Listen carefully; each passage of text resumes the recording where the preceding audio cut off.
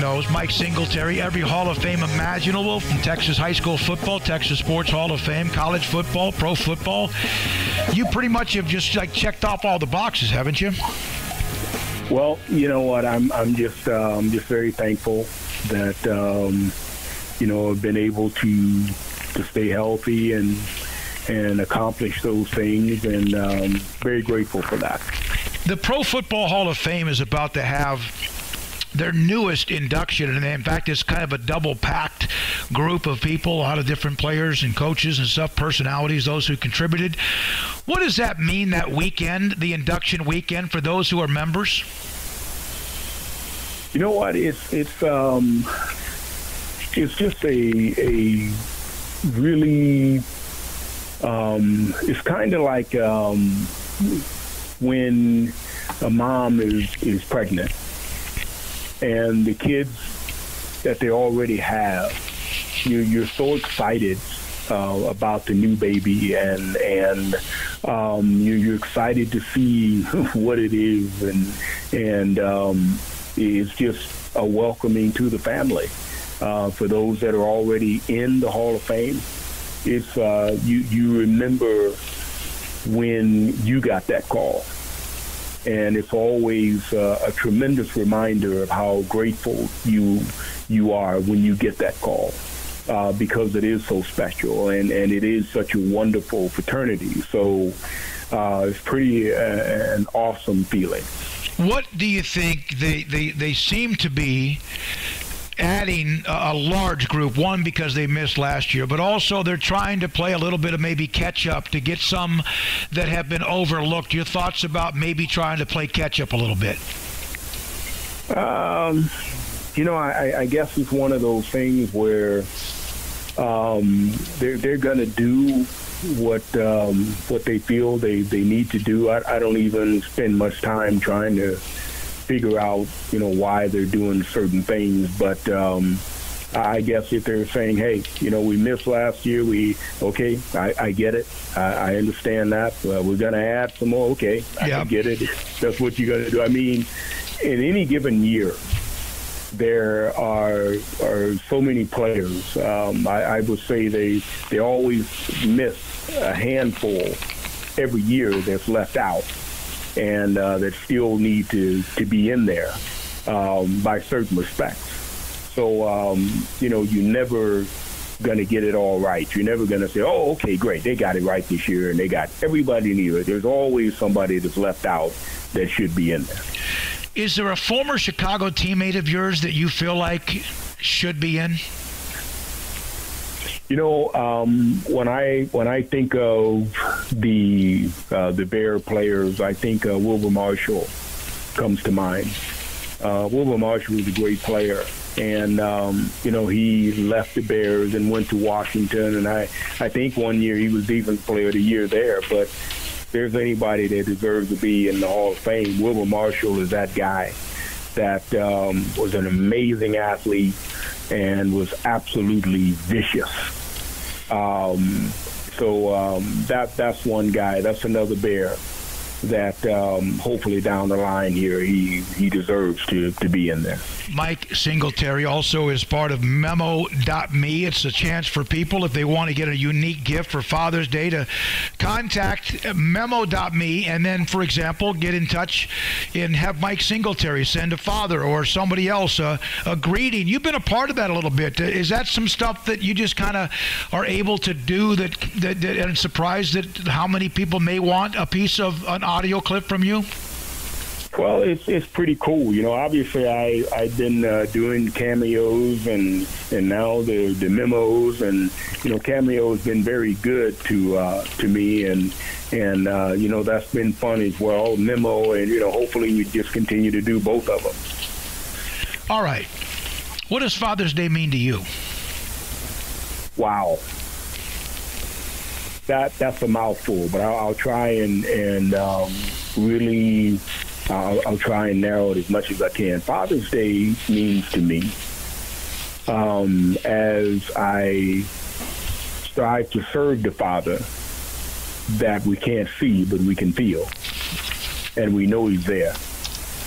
um, just trying to do everything that I can to honor the God that I call Father. And, um, you know, my Lord and Savior means everything to me. And if I can do my job on earth to raise my kids, be there for them, offer the discipline, as they get older, offer the advice, um, but just do my job and let them know that I am so, so thankful that God allowed them to be in this family so that um, they could be a part of uh, my wife and I, Kim and I, our, our legacy in terms of what we have to contribute to this world. And um, that's what I see. You have coached at every level possible, including uh, high school football in Texas. And I know the Bears talked to you maybe earlier this year about their defensive coordinator position. Do you still have the dream of coaching again? You know what? I, I believe that right now, um, the most important thing, um, I, I'm doing something right now that I really didn't really want to do uh, from a distance. And now that I'm doing it, um, I, am really excited about what I'm doing. And uh, that is really trying to help America mend and get back together. I got a program that uh, we're doing in Chicago on the 17th of July. Um, and it's uh, about the south side and west side of Chicago, bringing mm-hmm. them together and doing everything that we can to help them um, get the get the help they need, the love they need, the care that they need to get back in society and, and, and make America healthy uh, everywhere. So um, that's what I'm doing right now. As far as football is concerned, if, if God opens the door, I'll know it's Him and I'll walk through it. Mike, the country, of course, the last year and a half, it's been difficult. It's been difficult for a long time. It's always there's something. But as someone like yourself that loves America, that loves uh, God, that that loves people, and that people love you, um, how difficult at times was it for you to see sometimes how fractured this country was? Well, it, it was it was tough, but but uh, at the same time, I, I also understand that sometimes you you really don't know how badly something is broken until it actually breaks. And you take a step back and you look at it and you go, wow, I, I thought we were better than this. I thought we were closer than this. But it's, it's, um, it's, it's a painful thing sometimes to see the truth of how far we are apart. But I, I really do believe, and I really do believe this in my heart, that we're closer than what we saw. And I, I really believe that uh, there there's a handful of people out there that don't want it to work, uh, but there are more people out there that, that want it to work, that want America to be great. Um, and um, hopefully we can get it right this time. What is one thing about Michael Mike Singletary that people might assume is true that may be more myth than reality? Wow. Um, that that question took a lot of turns. I can get in trouble on that one. what is something about Mike Smith that people may think is true, but in reality is not? Is that correct? Yeah, and it, and it could be football. It could be your intensity as a person. It could be what I, it's kind of wide oh, open. Okay, okay. I, I, I would say that the biggest misconception that people have with me that they think is true most everybody I meet, I would say 95% of the people I meet say after they meet me, wow, you're really a nice guy. Mm-hmm. And I, I didn't know that. So, uh, I mean, you're really a nice guy. So, uh, you know, you don't yell at people. You, you don't, you know, you, are not going to snap any, you're not going to snap at anybody. Um, but you, you're really helpful, you're really kind, and you're really nice. Wow. So that's what I hear most of the time. You know, I've always had the. Uh, I'm, I'm, of the opinion that you you know you hear about well that guy's this or that girl's that or that person's that, and then I go well if you've never met them, you can only go by what others are saying. That doesn't mean it's true. It's better to meet somebody and then form your own opinion.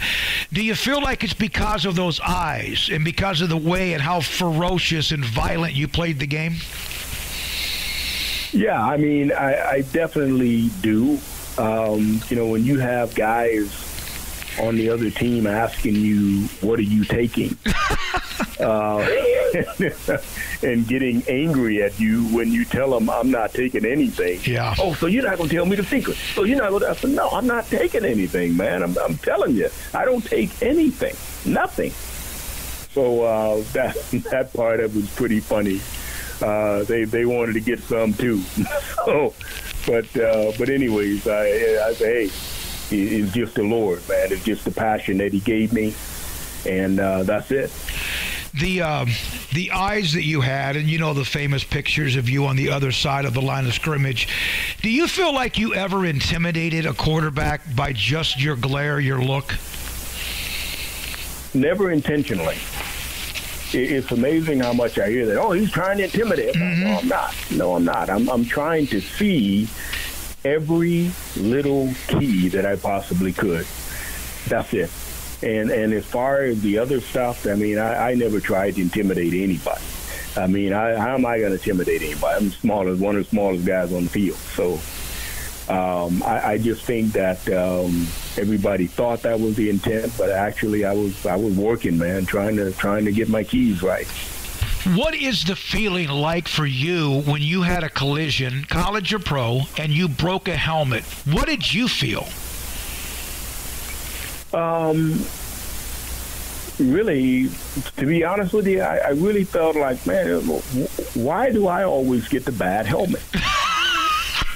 Really? Why, why, what kind of helmet are they giving me? You got to be kidding me. I, I, why do I get the defected helmet? Uh, nobody else is breaking helmets. Well, why, why am I the only one breaking helmets? I mean, this is ridiculous. That was my thought process. And, and do you remember how many? I mean, do you know off the top of your head how many you cracked? There were a number of helmets that I didn't even know they were cracked. Oh, okay. Uh, the next day, I got another helmet and uh, you know, Skip Cox would say, "Well, he got cracked," um, and I'm like, "What? Really? Yeah, it was cracked on the side. We can't let you play with that." And then there there was some that were just obviously cracked right down the middle like an egg. Mm-hmm. Um, so, you know, it, it it just happened. You've told me many times the influence that Grant Teaff had in your life and so many others. And recently, when I sat down with Coach Teaff, you told me about the, the speaking engagements and what that meant and what he was trying to, to teach you. What did Corky Nelson teach you, and how intense was he, and how much did he get you fired up? You know, um, the sad thing about people like Corky Nelson is they never ever get the accolades that they deserve. Corky, to me, was one of the greatest coaches that I've ever been associated with. He was absolutely amazing. He knew how to push your button. He knew what he wanted. He had a game plan as to how to get it. And right today, anytime I go anywhere, um, when there's another linebacker that Corky Nelson coached, and we're in the same room, uh, nine times out of ten, we're going to find each other and say, "You were coached by Corky Nelson," and there, here, here comes the story. Mm-hmm. To me, that that is the mark of a tremendous coach. I mean, too many coaches, but nobody have anything to say about, oh, that guy? Oh, man, he know what he's doing. But Corky Nelson, if, and I know for a fact, you know, as tough as it was, as some days as horrible as I thought it was, what a gift for God to give me to be able to have him as my college defensive coordinator and college coach and um, he and and um, you know, Coach Teaff were just a tremendous blend for me. Did you ever have a chance to, to tell Coach Nelson exactly that? Absolutely. Absolutely. I asked you about the helmets. Mike Singletary, Hall of Famer in every way. Memo.me is also a part of this interview and what we have with Father's Day coming up. Was there ever a hit? Like I've asked Earl Campbell, what was the hardest hit he can remember? And of course, he's delivered a bunch of them, but there was the Jack Tatum hit at the goal line. Oh, yeah. Oh, yeah. That was like, I'm surprised both of them just like they weren't, like they didn't evaporate. Was there one in particular you remember the most out of the hundreds or maybe maybe thousands of collisions you had? You know, um, I'm going to tell you one of the toughest guys, and this is, this makes me very proud to to say this uh, because he's also a friend. But uh, Dennis Gentry, I broke two helmets in the same practice on Dennis Gentry, and Dennis Gentry is just a little guy. Yep a little running back. But let me tell you something. When when Corky wanted somebody that was going to block, he called Gentry. I don't care where Gentry was on the field. Where, where, where, where's Gentry? He knows what I'm talking about. And Gentry would come down there and would run as hard as anybody. Would run over you. Um, was a tremendous competitor. And for a small guy, uh, he was a guy that, hey, you have to take notice. You have to buckle up yourself if you're going against Gentry. And so Gentry was the guy I love practicing against Gentry because you know you're going to get better. He's going to give you everything you had. And so that that practice, I'll never forget. We had two practices. I mean, we had one practice, um, and I think it was two a days. One practice, I cracked two helmets, split them straight down the middle, and it was Gentry. And, and of course, you played in the NFL with him. He was a part of those 85 Bears. Everyone talks about you or Dan Hampton or whoever else, Steve McMichael, but guys like him were just as tough, huh? Oh man, there's there's no doubt. When you got guys like Dennis Gentry on on your backup team and on special teams, mm-hmm. he was a monster on special teams. And so when you got the quality quality special team players like uh, Dennis Gentry, man, your special team is going to be great. Couple more things, Mike, and we appreciate your time. I asked you about maybe one hit, and you mentioned Dennis Gentry in practice. Was there a specific game that you know maybe one that everyone thinks was your favorite game, or is there a game that that stands out at Baylor more than any other game? Um, wow. It stands out in Baylor more than any other game. I would say probably um, Texas A&M when I think they came to Waco and uh, they had uh, George Woodard and uh, oh, yeah. Dickey and and they were a pretty hot team and they came to Waco. It may have been my junior year or something like that. I, I think this is correct. I could be wrong, but I, I they maybe getting the year wrong. But they came to Waco and we beat them, and um, it was a tremendous, tremendous um, victory for our our team, the university. Um, and for and for you know the status of our, our team, we we kind of moved up the the chart there a bit uh, because we beat uh, we beat a very good football team, a very talented football team um, at home, uh, at our home, and um, it was a great day you know, um, you command respect. It's not like you say you must respect me, but people respect Mike Singletary. That doesn't mean everybody agrees with you or likes your style or whatever, but that's the what that's because we're all human, and not everybody thinks that someone's perfect. But you seem to command that respect. Why? Maybe because I give it. I think. Um, one of the things that I, I really appreciate about some of the my teammates is, um, you know, my junior year, my senior year, even my sophomore year. uh, when there were players that came in and they were rookies or what have you, freshmen, um, and somebody was trying to pick on them, or you know, I would always step in and say, "We're not doing that. Don't do that to him. That that's not right. I wouldn't want anybody to do it to me. I don't want you to do it to him." So, what, what, why does it matter to you? Because anytime I see any injustice anywhere, I'm going to step in um, because it's it's not right. It's not right here. It's not right on the field. It's not right in my family. It's not right anywhere I see it. I'm going to step in and I'm going to say something. That's my nature, and that's what I was taught as a kid. Uh, we need more of you. Well,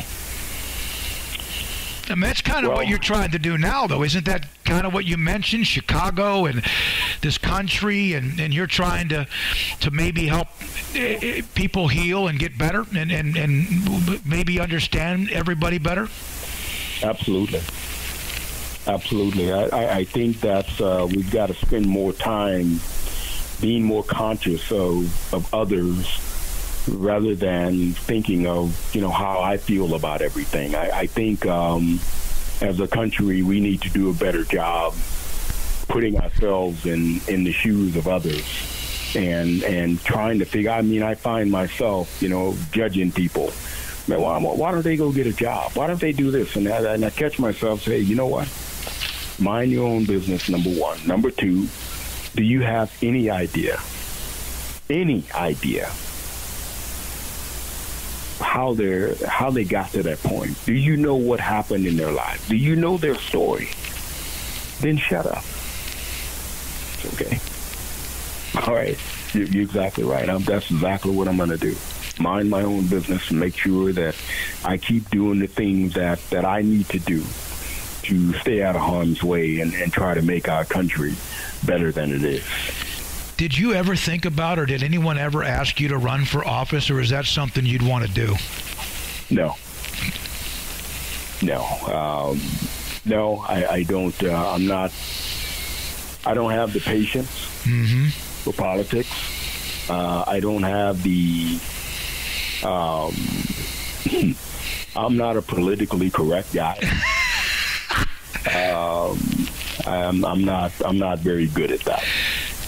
I had someone bring this up that uh, they remembered when you were in college, and when they were there, or perhaps it might have been a brother-in-law or someone else. The football players would lead Bible studies at Penland Hall, and that you were a part of that, among many others. And it always meant so much to them because you guys were involved in that.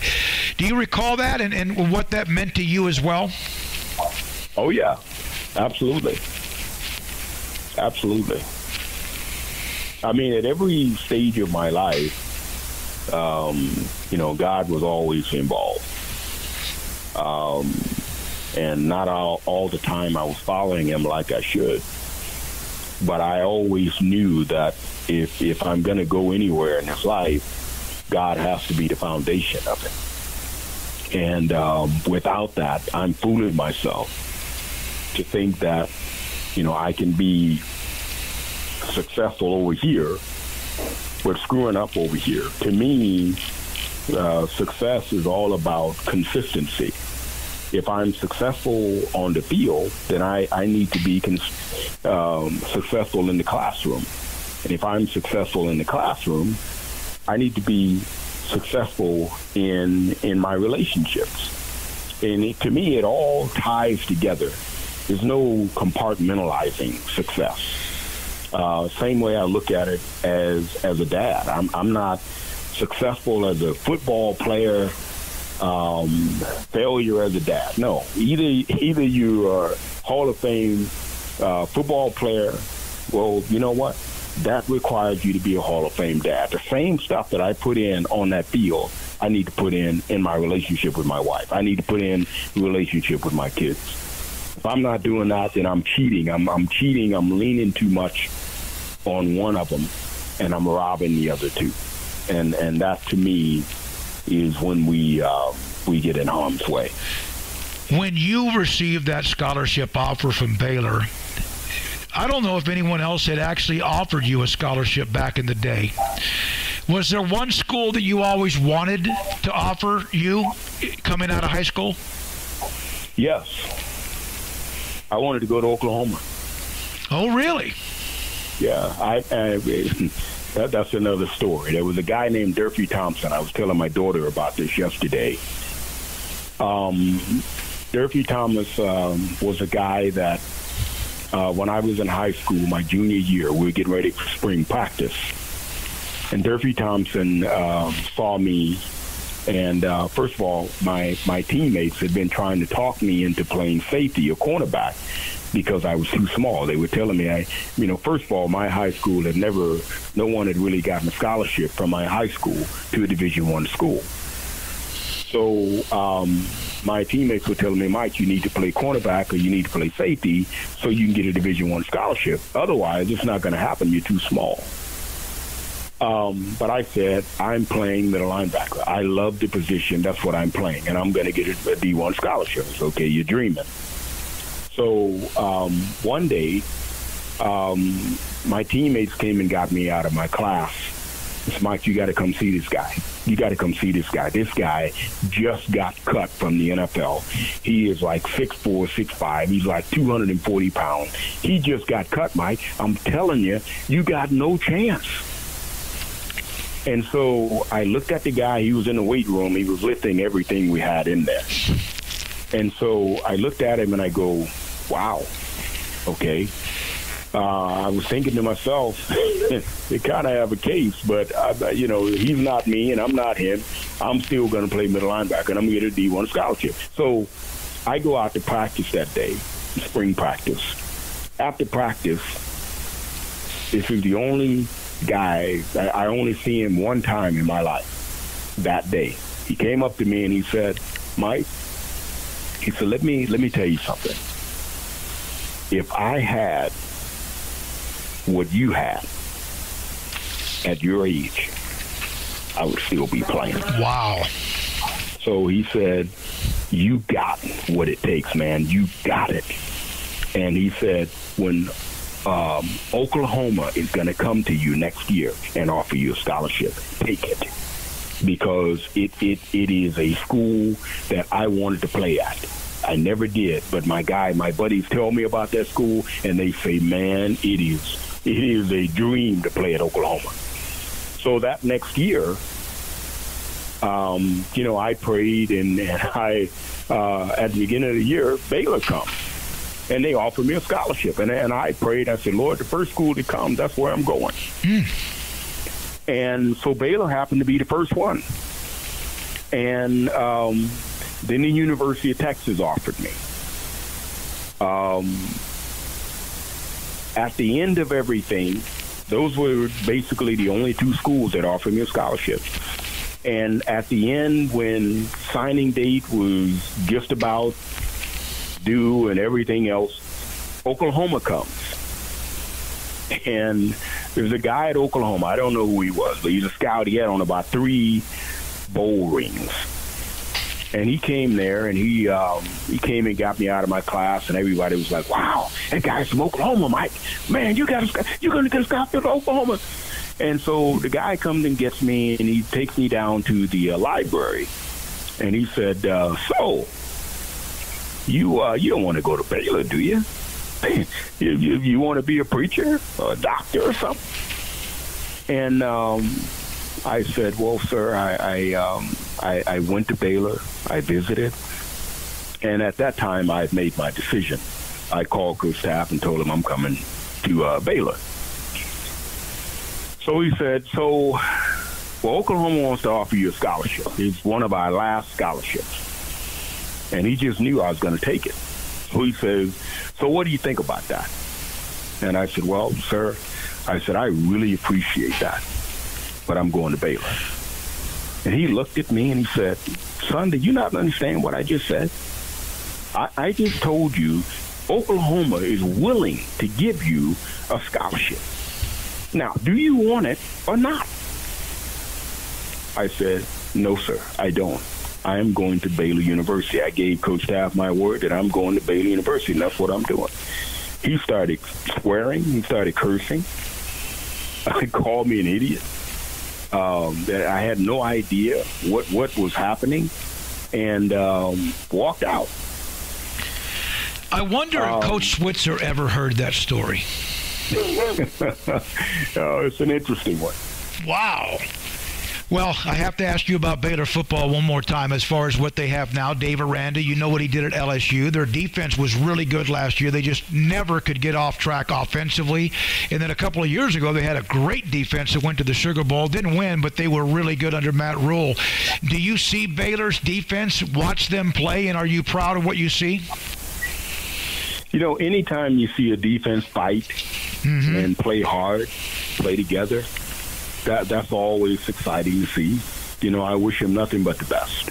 Mike, I've interviewed you over the years. Uh, I've been fortunate to interview you a handful of times, maybe 10 or 12 times in the last 10 or 12 years.